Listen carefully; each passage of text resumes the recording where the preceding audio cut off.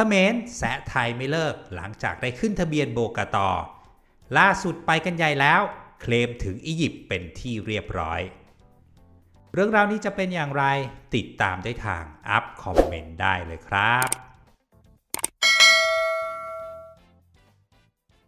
หลังจากที่ทางยูเนสโกได้มีการขึ้นทะเบียนโบกตอ ศิลปะการต่อสู้ประจำชาติของกัมพูชา เป็นมรดกภูมิปัญญาทางวัฒนธรรมที่จับต้องไม่ได้นะครับ โดยในเอกสารของทางกัมพูชาได้มีการระบุไว้ว่า โบกาตอเป็นศิลปะการต่อสู้แบบเขมรโบราณ ที่ถูกสร้างสารรค์ขึ้นโดยนักรบชาวเขมรโบราณ โดยเอกสารของทางกัมพูชาได้มีการอ้างอิงว่า สามารถหาหลักฐานต่างๆ ได้จากภาพแกะสลักบนกำแพงหิน และตามโบราณสถานต่างๆครับผม ถึงแม้ว่าเรื่องราวนี้จะไม่ได้มีความเกี่ยวข้องโดยตรงกับประเทศไทยเท่าไหร่นะครับ แต่ว่าก็มีข้อความบางส่วนที่มีความเกี่ยวข้องกับประเทศไทยและมวยไทย สืบเนื่องมาจากเอกสารของทางการกัมพูชา ได้มีการอ้างอิงพาดพิง ถึงศิลปะการต่อสู้ประจำชาติของไทยอย่างมวยไทยนะครับว่าโบกตอเป็นต้นกำเนิดของมวยไทยและมวยลาว และรวมถึงข้อความแบบเนียนๆว่า ไทยและลาวเคยเป็นส่วนหนึ่งของเขมรมาก่อน และดูเหมือนว่าจากการที่ยูเนสโกได้มีการขึ้นทะเบียนโบกตอเป็นมรดกทางวัฒนธรรมที่จับต้องไม่ได้ในครั้งนี้นะครับ ก็จะทำให้ชาวกัมพูชาดูฮึกเหิมและมีความคึกคักในเรื่องนี้เป็นอย่างมาก เรามาดูกันที่เรื่องราวแรกกันก่อนเลยนะครับ โดยทางสำนักข่าวไทย PBS ได้มีการลงเรื่องราว แล้วก็รายงานข่าวเกี่ยวกับการที่โบกตอได้ขึ้นทะเบียนเป็นมรดกทางภูมิปัญญาของยูเนสโกในครั้งนี้นะครับ ซึ่งรายงานข่าวดังกล่าวก็ดูเหมือนว่าจะไม่มีประเด็นอะไรเป็นพิเศษ แต่กลับว่ามีชาวกัมพูชาได้มีการเข้ามาแสดงความคิดเห็นในทำนองที่อาจจะเรียกได้ว่าเยาะเย้ยถากถางนะครับ เดี๋ยวเราลองไปฟังกันสักนิดนะครับว่า ชาวกัมพูชาที่ได้เข้ามาแสดงความคิดเห็น พวกเขาพูดไว้ว่าอย่างไรบ้าง โดยความคิดเห็นแรกนะครับ มาจากเพจเพจดึงของทางกัมพูชา ซึ่งเพจนี้ก็เป็นเพจเจ้าประจำสำหรับเรื่องของการเคลมวัฒนธรรมนะครับ โดยเขาเข้ามาเขียนไว้ว่า love you from Cambodia มาต่อกันที่ความคิดเห็นต่อไปครับ ชาวกัมพูชาท่านนี้ได้เข้ามาเขียนไว้ว่า ขอโทษนะครับ ถ้าพูดผิดดูแล้วไม่มีใครยอม ทั้งๆทที่รู้อยู่แก่ใจว่าเป็นของใคร โดยท่านนี้เขียนไว้เป็นภาษาไทยนะครับ พร้อมกับแปะธงชาติกัมพูชาเอาไว้ มาต่อกันที่ความคิดเห็นต่อไปครับท่านนี้เขียนไว้ว่า เรียนประชาชนชาวไทยที่เกี่ยวข้องกับศิลปะการป้องกันตัวแบบโบกตอ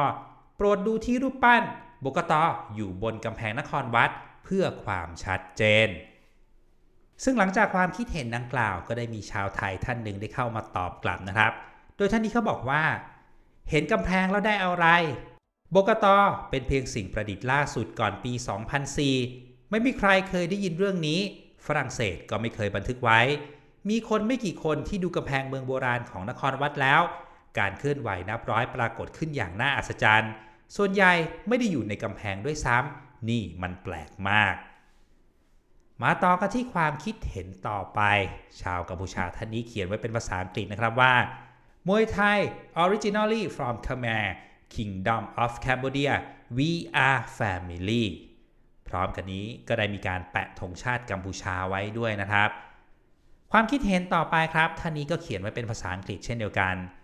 Thanks for sharing our wonderful heritage to the world มาต่อกันที่ความคิดเห็นต่อไป โดยความคิดเห็นนี้เป็นของคนไทยนะครับ ได้เข้ามาแสดงความคิดเห็นว่าเขมรเป็นเมืองขึ้นไทยมากี่ร้อยปีแล้ว และมวยไทยก็ใช้ในการรบมานานแล้ว มันตลก ซึ่งก็ได้มีชาวกัมพูชาท่านหนึ่งได้เข้ามาตอบกลับนะครับว่า มันน่าอายที่พูดแบบนั้น มาต่อกันที่ความคิดเห็นต่อไปครับ ชาวกัมพูชาท่านนี้ได้เข้ามาแสดงความคิดเห็นไว้ว่า ใครสร้างก่อนคนนั้นก็เป็นเจ้าของ ศิลปวัฒนธรรม ภาษาล้วนมีต้นกำเนิดและแตกกิ่งก้านสาขา ซึ่งชาวกัมพูชาท่านนี้ก็เข้ามาแสดงความคิดเห็น ด้วยลอจิกที่เราจะได้ยินกันบ่อยครั้งนะครับ ก็คือว่าถ้าใครมาก่อนสิ่งที่ตามมาก็ต้องเป็นของคนมาก่อนทั้งหมด มาต่อกันที่ความคิดเห็นต่อไปท่านนี้เขาบอกว่า thank you for your sharing คุณโบกาตอมาต่อกันที่ความคิดเห็นต่อไปท่านนี้เป็นคนไทยนะครับ ได้เข้ามาแสดงความคิดเห็นว่า นี่มันลอกออกมาจากหนังองค์บาก หลักฐานก็ไม่มีนอกจากอ้างภาพ คนฟันดาบกับกระบอกไม้ไผ่แล้วหลอกตัวเองว่าเป็นการต่อสู้แบบองค์บาก ซึ่งมีชาวเขมรท่านหนึ่งนะครับ ได้เข้ามาตอบกลับโดยเขาบอกว่า คุณมีมันหรือเปล่าล่ะ กลับบ้านเอามาโชว์ให้ดูซิครับผมนอกเหนือจากชาวกัมพูชาที่ได้มีการเข้ามาแสดงความคิดเห็นไว้ทางเพจไทย PBS แล้วนะครับ ยังมีเพจเพจหนึ่งของทางกัมพูชาที่มีชื่อว่า World คุณคแม Promotion ซึ่งเพจนี้นะครับก็ได้มีการกล่าวถึงความคิดเห็นของคนไทย ที่ได้มีการเข้ามาแสดงความคิดเห็นเกี่ยวกับประเด็นการขึ้นทะเบียนยูเนสโกของโบกตอนะครับ โดยทางเพจเขากล่าวไว้ว่าดังนี้ หลังจากที่ยูเนสโกขึ้นทะเบียนศิลปะการต่อสู้แล้ว ก็มีเพจไทยได้มีการเผยแพร่เรื่องราวนี้ และมีปฏิกิริยาอย่างมากมาย ต่อกรณีที่เขมรเขียนไว้อย่างชัดเจนว่า ไทยและลาวถูกพัฒนามาจากอาณาจักรเขมรและรวมถึงศิลปะการต่อสู้ของเขมร โดยคนไทยเหล่านั้นยังคงปฏิเสธที่จะยอมรับสิ่งใด ๆ มันเป็นความจริงที่ว่าพวกเขาเกิดมาถูกแช่แข็งในยุคมืด และประวัติศาสตร์โกหกพวกเขา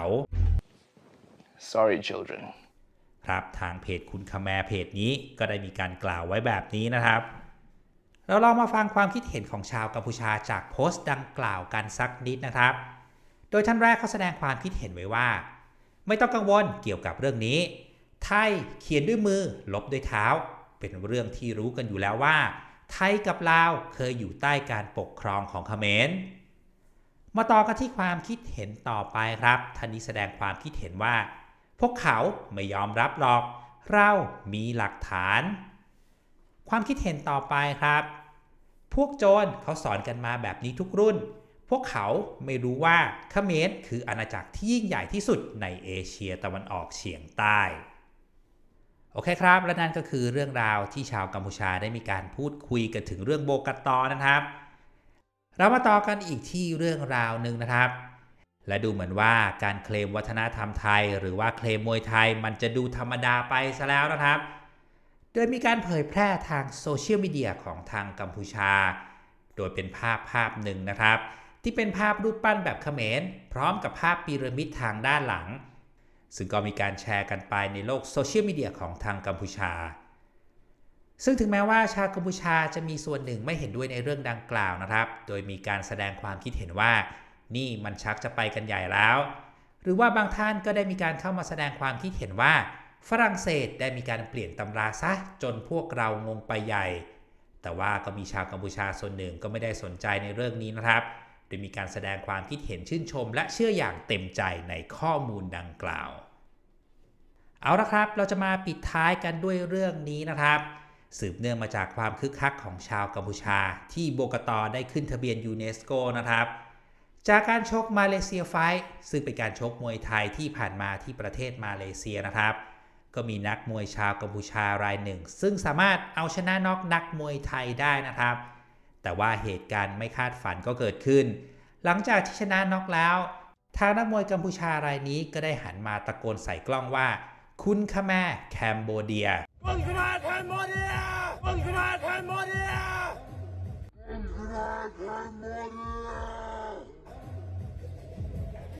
ซึ่งดูเหมือนว่าการแสดงอะไรแบบนี้ก็ดูจะไม่ค่อยน่ารักเท่าไหร่นะครับ ครับผมและนั่นก็คือเรื่องราวทั้งหมดในวันนี้นะครับ เพื่อนๆฟังแล้วมีความคิดเห็นอย่างไรกันบ้าง อย่าลืมเขียนไว้ในช่องคอมเมนต์เพื่อพูดคุยและแลกเปลี่ยนความคิดเห็นกันได้เลยนะครับสำหรับวันนี้ขอตัวลาไปก่อน แล้วพบกับเรื่องราวและความคิดเห็นจากอัพคอมเมนต์ได้ใหม่ในวิดีโอต่อไปนะครับ bye bye สวัสดีครับ